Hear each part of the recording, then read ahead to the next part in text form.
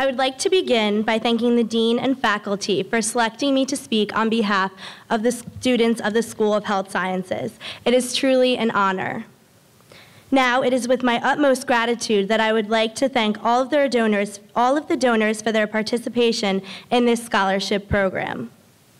I cannot stress enough my appreciation for the generosity and selflessness of all of the donors. I would personally like to thank Mr. Anthony Capola. Without his participation, I would not be standing here in front of you tonight. Being recognized as an award recipient is truly humbling. Considering the number of, of students attending the Richard Stockton College of New Jersey who display great intelligence and competitive res resumes, it is an honor to be awarded this scholarship. It is a reflection of all of my hard work and dedication to my academic career.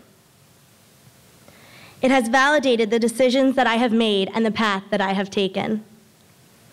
Every student here tonight should be very proud of themselves. Together, we demonstrate high academic achievement, leadership, and service to the community and the college. My education is not merely a degree.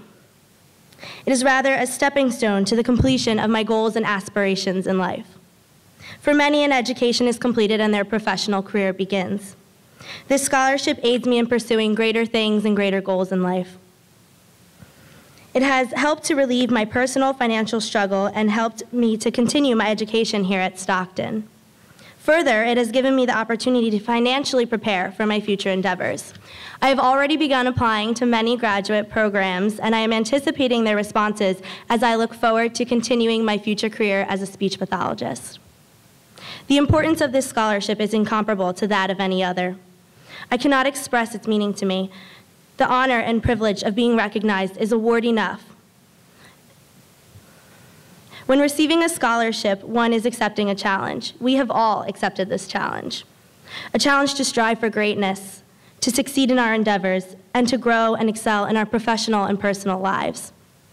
I would like to conclude by again thanking all of the kind people who have donated to the Stockton Foundation Scholarship Program.